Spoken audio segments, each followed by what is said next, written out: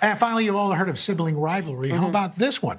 Out of the 613 members of Team USA, there are seven sets of siblings. Okay. Uh, you got Phillip and Ryan Chew from California just finishing their run competing in the men's badminton doubles, and an Olympic family legacy carrying on with Aria and Mackenzie Fischer, oh. just like their dad Eric. These sisters are in the pool competing in women's water polo here in Tokyo. Cool. Love that. We've got the Hurley sisters. They're back this year for women's fencing. This marks the fourth Olympic appearance for older sisters Kelley and Courtney's third time in the games. Uh, Jessica and Nelly Korda. They're going to step on the golf course next week for the women's individual stroke play.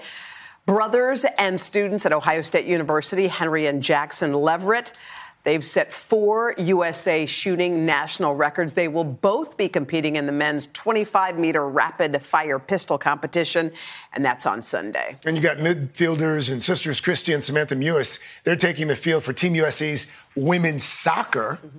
That's right. And Erik and Kawika Shoji are known affectionately, affectionately as the Brogies. this is their second Olympic appearance together on the volleyball court. So congrats to all those athletes and, of course, all their very I, proud I like, families. I like the Brogies. That's, That's pretty right. cool. Hey, thanks for watching our YouTube channel. Find your favorite recipes, celebrity interviews, uplifting stories, shop our favorite deals, and so much more with the Today app. Download it now.